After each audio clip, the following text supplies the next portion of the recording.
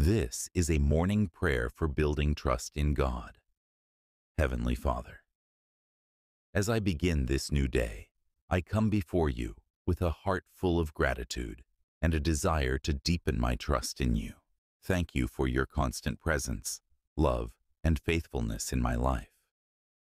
Lord, today I ask for your guidance in building trust in you. In the midst of uncertainty and challenges, help me to rely on your wisdom and strength. Teach me to let go of my fears and anxieties, knowing that you are in control and that you have a perfect plan for my life. Grant me the courage to surrender my doubts and to place my trust fully in you. When I am faced with difficult decisions, may I seek your guidance and trust in your promises. Remind me that your ways are higher than my ways and that your plans are greater than anything I can imagine. Thank you, Father, for the gift of trust and for the assurance that you are always with me.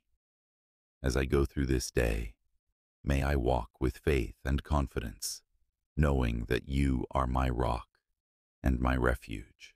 In Jesus' name I pray. Amen.